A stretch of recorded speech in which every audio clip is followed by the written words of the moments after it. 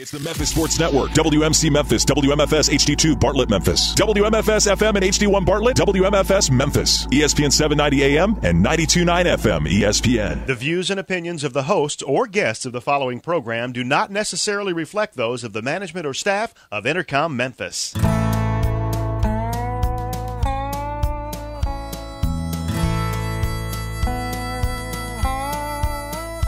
Watch the sunrise,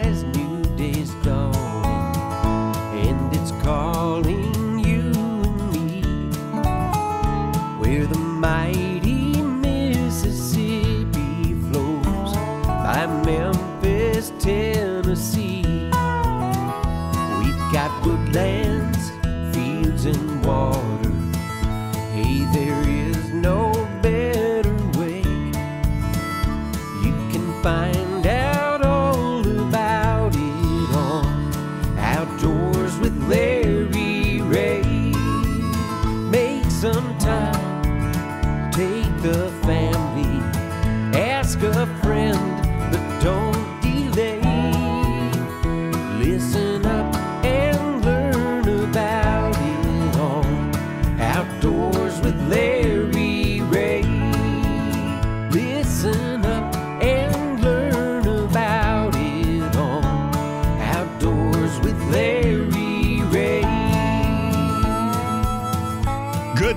Morning, and welcome to another edition of the award winning Outdoors with Larry Rea on ESPN 790 AM. Brought to you proudly by Tennessee Wildlife Resource Agency, Barton Power Sports, Sportsman's Warehouse, and Best Care Home Services. Now, here's your host, Larry Rea. Hey, good Saturday morning. Welcome to Outdoors with Larry Rea on this uh, after Christmas show. Uh, almost a new year, and this is our fifth Saturday, which means normally that uh, Gene Smith and Charlie Covington are in studio, but we kind of switched things up. I, I thought you folks out there would like to know a little about all of our co-hosts. We have guys on this show that really. Uh, that's the reason this show is so successful because I can't sit here and talk for 90 minutes, but I'm able to coach some friends on, and they uh, we have a system here, and and it's about to change because in coming up in January we're going to have some different time slots. But uh, this is normally Charlie Covington, our poet laureate, and the one and only other half of the Brother Daryl and Daryl show is the uh, illustrious, the majestic, the man of many words, Infamous. Imp- that's more than likely for him. That is Gene Smith. Good he- morning. Good morning. And now, and now we also Charlie will be coming on later in the show today because he is in Birmingham with his uh, son and their family. He and his wife are down there, but he will be here in the last segment to do his year-end poem. And I know Charlie. Uh, they're all good. they're all good, and we're Yeah. gonna we're gonna pipe in Charlie here. But uh, speaking of uh, bonus time, I mean, you know, we we get Ron twice now in one month. We're gonna get Ron Wong three times, and now right now we have a Smith in here, Yes. and we have a Wong in here. Two of the most last names. Yeah. Yes, but how many more uh, Wongs are there than Smiths? Ron Wong. Good morning, everybody. First of all, there are more Wongs than Smiths and Joneses put together. I wanted you to hear that. Yeah. I believe that. So you need to get out there and work for the Smiths. My working days are over. oh, your working days are over. You can't have any uh, help on that. Yeah, Uh, no. I got grandkids though. All right, that's what we, you know, these two guys here, and, and of course I've known both of them uh, since I was in uh, diapers. Boy, was that a sight? Yeah, Seeing y'all it was. running around down there in diapers. I just can't view it right now. But uh, Well, now they use Pampers. uh, let's don't go any further. Yeah. And what gets me when a they box. are depends now. Yeah, It that's right. depends. Us older Oh, guys. is that what we're going to start are with? depends But now. this is good. This special show is going to. Uh, we're going to talk to all of our co-hosts, and I couldn't think of the two better ones. You know, Dave Gabbert is with Gene normally on uh, open mic Saturday when I'm off prancing in the woods or something like that, which I will be uh, next week uh, somewhere. But I, let's talk a little bit about Ron Wong and Gene Smith. Ron, let's kick it over to you. A lot of our folks have asked. Uh, uh, well, just uh, a little bit of notch about your career. You you were born in California. Born in Sacramento, California. Okay. And uh, lived there for 12 years before I moved to Memphis, Tennessee in September of 1960. And so you you you went to ended up at Westwood High. that right? Westwood High School, then went on to Memphis State University, entered the U.S. Navy, and served uh, almost four years in the Navy, of which I spent four tours in Vietnam. Got out of the Navy, uh, got into the fishing Yes, you did. scene pretty Yeah. big. Uh, Yeah. Went to work for Surplus City for those of you that are old right. enough to I remember remember Yeah. and uh, was a sporting goods uh, manager and buyer for Yeah. the fishing department and hunting department and then I went on to FedEx for a great 34 years and uh, wow what a company when I started FedEx Uh huh. They were averaging about 3000 packages a day Three thousand a day, a day not an hour or anything like that. right A day. Okay. and you know now they're um, they're pushing through 3 million packages Wow. Now you amazing. now you were a global analyst at FedEx or something like that. Uh. I started out uh, buying aircraft parts, okay. and then I moved on to become a manager in uh, material planning for all of the other materials to for the company to operate. Okay. And then for my last 15 years, I went into corporate communications Uh huh. to work in the community relations department, where I went and planned, organized, managed, and reported on volunteer programs for FedEx employees in the U.S. And so that, that that was great. And while I was doing all of that, I did some tournament fishing. I You did, that for about 22, 23 years. Yeah. Had my sponsors.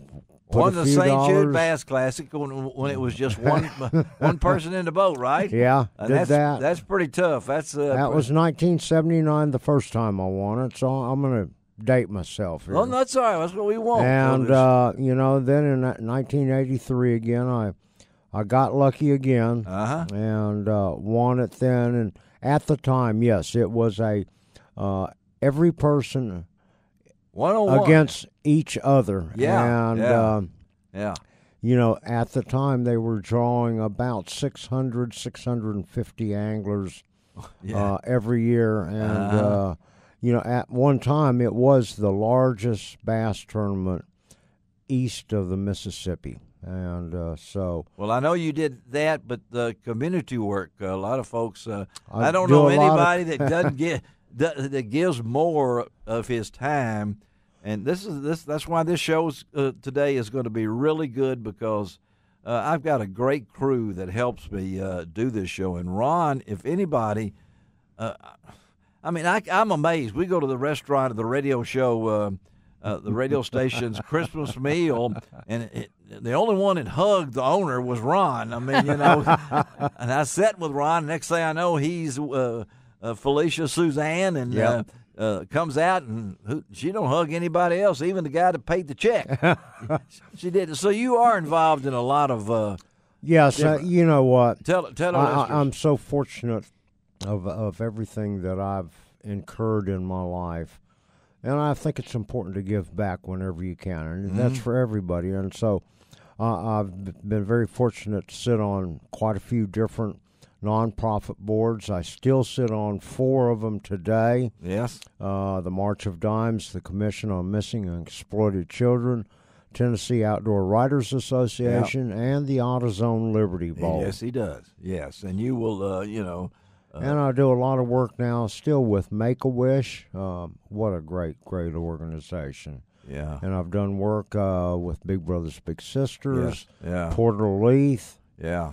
and uh, It's just so- part of Ron's makeup right there, and I know that uh, uh, uh, one of the most well-known guys, and and, and we're going to come back to Ron, but well-known is is Gene Smith here. I mean, how many people has lives has Gene touched? Well, it's amazing. Unbelievable. Yeah, it's amazing, and uh, a lot of you folks uh, know Gene. You probably took hunter safety from Gene because I thousands of uh, adults and kids have taken that. But Gene, tell our listeners a little, little about you because you grew up in where, in Frayser. Did you? No, I, I lived in North Memphis. North Memphis. Went to Maury Elementary School on Bellevue. Uh huh. Then I went to Humes High School. Uh huh. Elvis was there the first first two years I was there. Oh, you are. Yeah. y'all and y'all. You, you well, saw I him seen in him, school. but I, I didn't. I didn't really know him. He had a, he had his first song out uh, when I was in uh, eighth grade. okay. Yeah, All right. and, and um, But we, you used go, we used to go down on Main Street and sit around. He had a pink and white uh, 55 or 56 Ford Uh-huh. Crown Victoria then. Uh, and, and and and what were you driving? Uh, shoes. he was walking, driving shoes. Gene Smith, and uh, but you grew up and uh, and you you went to work for the Board of Education. Was Yeah, that well, your I- first job, or no, was first job was downtown 311 South Main in Memphis Seating. Memphis Seating? I remember we watched watched the guys from Route 66 come in in that Corvette across the street in that hotel really? when when they was filming the movie. Uh huh. Yeah. And when I left there, I went to uh, Bruce Lumber Company. I was there for a long time. Uh huh. My dad worked there when I was born, Okay. and I was making a dollar seventeen cents an hour. A dollar seventeen cents yeah, an it was- hour. I don't know how. How can you remember that? You, oh, it, yeah. It well, I still got I still got check stubs. Oh, well, you should cash them. Yeah, I know. So, but uh, so you worked at Bruce, and then you went. Uh, how'd you get into the Board of Education? Well, I worked uh, raising a family. Worked two or three jobs. I I worked at Coley Stokes Music Company, Uh-huh. repa- repairing instruments. So a buddy of mine, uh, Tommy Carr, he was working there too. Well, Yeah. he, Brian Hamilton decided to talk the school system into having their own repair shop. And so that's how you became a, a instrument repairman. Correct. And you spent how long with the, the Board of Education? Forty-four years. Forty four years repairing instruments, right? Yeah, ev- almost everything in my adult life, I dealt with children. You did. And Whether I give them instruments to play, or I took them hunting or fishing, or I had them in my hunter ed class. and, and the hunter let's talk the hunter, hunter ed part of this because you did this you and your wife Vicky right. as a as a partnership did uh, how, how long and you're still doing them now I know yeah, I'm still doing them. Yeah, I, I, I've been blessed. Uh, TWR's gave me a lot of awards. I won uh, Region One award, which is uh, Region One, right this side of uh, Tennessee River. yeah I uh, got that three times. I got the state four times. I got the international hunter education one time. Then I got, of course, I got one from Ducks Unlimited and the Wild Turkey Federation, and the Sierra Club. Sierra Club all these different things um, Yeah, that- Sierra Club. That was pretty new. Ron deals with people like that too. I had some kids with the Down syndrome, and I helped them pull them through the hunter ed class. They knew everything, and of course they're gonna have they have an adult with them hunting. yes uh, and uh, but but the, that must be one of your touching moments oh yeah, uh, it was it was remarkable. Well, one time one of my classes, uh, I had this family of four boys, and the and the dad was there, yeah and one kid had mu- uh, muscular dystrophy. How you say yeah, it? uh, yeah uh, He couldn't. He had. He couldn't have. Didn't have any motor skills. uh-huh yeah but back in those days, we have him memorize the Ten Commandments of firearm safety. uh-huh Well, usually I had all the kids to write them. Well, of course he couldn't write, so Yeah. I took him out in the hall, and it he struggled pretty good, but he knew them word for word. he did yeah And that's what I went in there and told those teenage boys that take life so lightly. yeah That this yeah, young man struggled, but he outdid them, yes and uh, with his handicap. And you and and you continue teaching hunter education. Uh, uh, and how old are you now? I'll be 77, uh, 76 on my birthday, January the 1st. January the first. He is a Wow. A New Year's baby. Yeah. New Year's baby. What a cute guy he was back then. yeah, I was number I was number two. Mama said she heard the bells and whistles going off when she was Oh, so you were, so you were almost the first. Almost first, yeah. Oh well, you can't handle that to it. Ron Wong is first, we know, and Ron, uh, your your love of kids and things along that line uh, matches Gene in fishing rodeos and things like that. And folks, uh, when Ron posts a picture of a fish. That's not the same one over and over. I can tell you. If you call Ron's number right now, he said, "Gone fishing." Yeah. leave Yeah. a message or something along that line. And uh, You know, as long as it's over 35 degrees, I'll go. Um, well, you're you're pushing it I, this weekend. I, The I used would- to you know, I used to go anytime, but uh, yeah. It's gotten to the point to where it's no fun to play with the ice Oh, on, yeah. on your equipment Dangerous, more than yeah. anything else.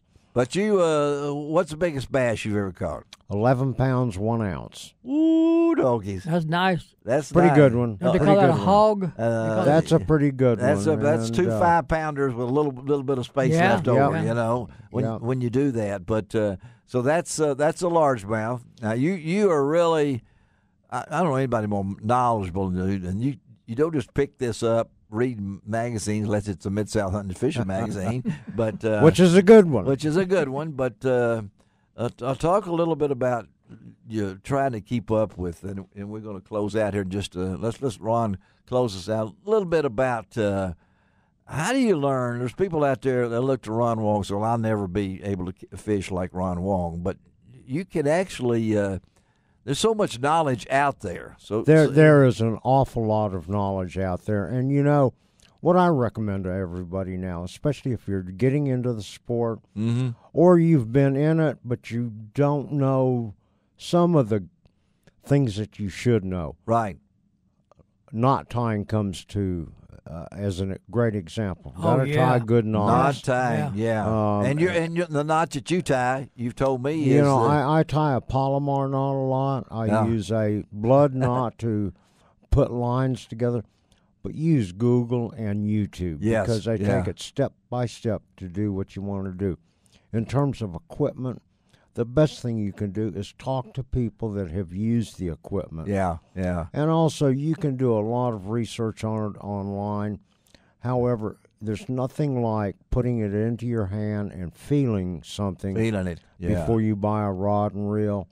Uh, in terms of lures, you know, I've told you guys many times there's only two kind of lures Yep. one that catches fish and one that catches fishermen. That's it. Yeah. And that's written. And I know my son, my son will vouch for that. He has been in Ron's house and uh, and was overwhelmed with how many uh, rods and reels. And I'm not giving away. I can what Ron- imagine, yeah. But uh, Ron knows his stuff. Can, let- can we take that first break? This is going to start us on a roll because we're going to go right through all of our uh, co-hosts, and we got Frank uh, Barton, Bill Cooksey, John Gordon. John's in the duck blind this morning, and then Dave Gabbert, and then Charlie Covington. We're going to close out uh, with Charlie Covington and our main fill-in guy. I mean, when we need anybody, he even had to open the door for us today.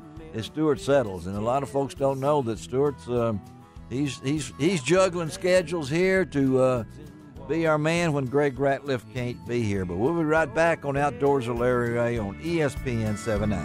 You can find